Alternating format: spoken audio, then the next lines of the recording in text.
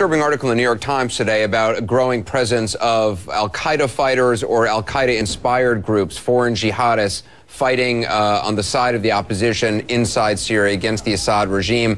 What have you, and, and I'm about to talk to a, a, foreign reporter who was actually held hostage by a group of, of foreign jihadists. What have you seen? I mean, who, who are these fighters? What is the makeup of the fighters you've seen? I haven't seen the fighters who took the two foreign, uh, the British and Dutch journalists hostage, but I met their Syrian guide, a terrified young man uh, who said that they talked like Al Qaeda. They threatened to kill him uh, because he didn't have the proper beard and because he had brought infidels into Syria. Now, when we got in touch with Syrian rebels, the Free Syrian Army commanders on the ground, to ask them about this case uh, and to try to help the journalists, they were appalled at this news. They seemed to know who these guys were up in the hills. One commander told us, listen, in an hour I could take these guys out with my men. Uh, there is a broad spectrum of different rebel groups on the ground here, Anderson. Uh, there are hundreds of rebel bands, and some of them tend to be kind of secular. Others seem to be Islamist inspired, and some of them do have foreign volunteers. I've met three Libyan volunteer fighters who have crossed the border from Turkey over the course of the past week, joining larger groups of fighters. And some of the Syrians have misgivings about them being here. They don't want foreigners, uh, certainly jihadists, fighting their battle. Others say, you know what? Nobody else has come to our rescue. Nobody else is helping us, so we'll take any help we can get to bring down the Assad regime. Yeah, interesting. I Ivan, a dangerous time. Stay safe. Thank you. With us now is Dutch freelance photographer Jeroen Oerlemans, who was one of two foreign journalists held captive for a week until Syrian opposition fighters uh, rescued them. Jeroen, um, you were basically captured right after you crossed into Syria on July 19th. What happened? We were brought into the country by a smuggler's ring, and we were following a, a well-known smuggler's route.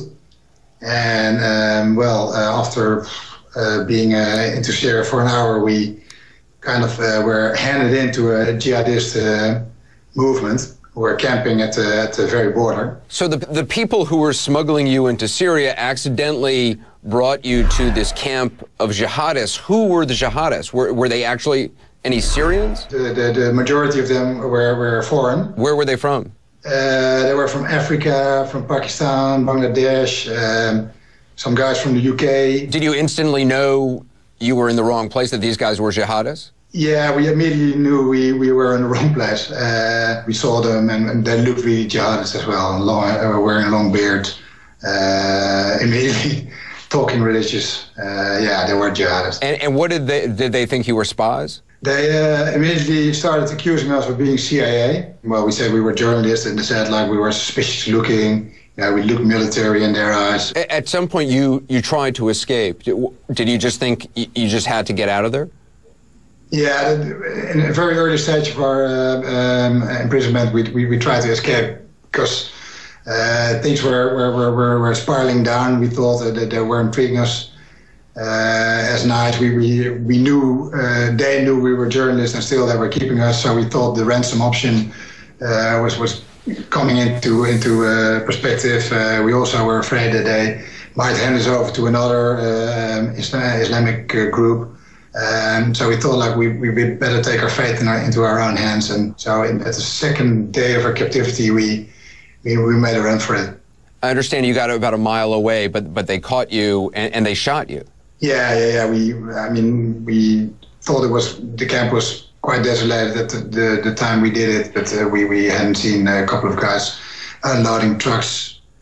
And they saw us, and immediately we got caught in the crossfire, and, and they chased us down the valley. And, and after one and a half mile, uh, they, they succeeded in shooting me. And, and then five minutes later, they, they got hold of John. They shot him as well. Where were you shot?